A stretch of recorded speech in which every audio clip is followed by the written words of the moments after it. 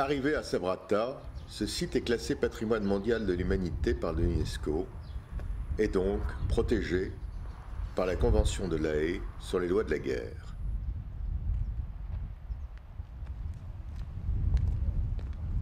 Deux gardes armés nous escortent dans la cité.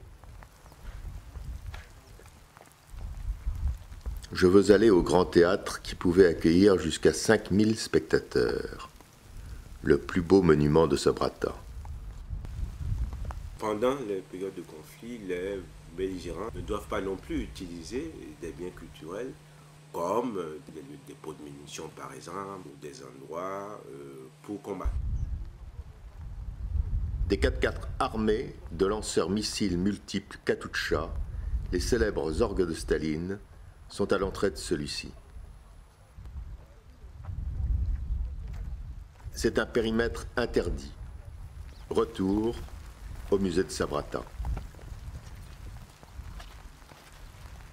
Quand vous faites ça, ça veut dire que vous enfreignez les lois de la guerre, ce qu'on peut appeler comme ça, et que vous êtes passible après euh, de passer, d'être condamné devant une juridiction internationale.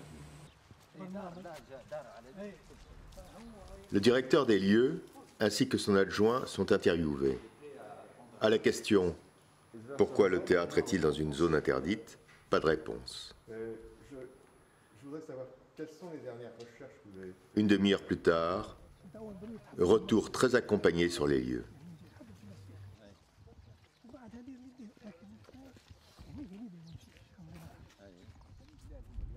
Bien entendu, les 4x4 ont disparu. La première chose qui nous frappe, c'est que la grille d'entrée est complètement écrasée. Ce ne peut être qu'un engin lourd qui a mis à bas ses protections.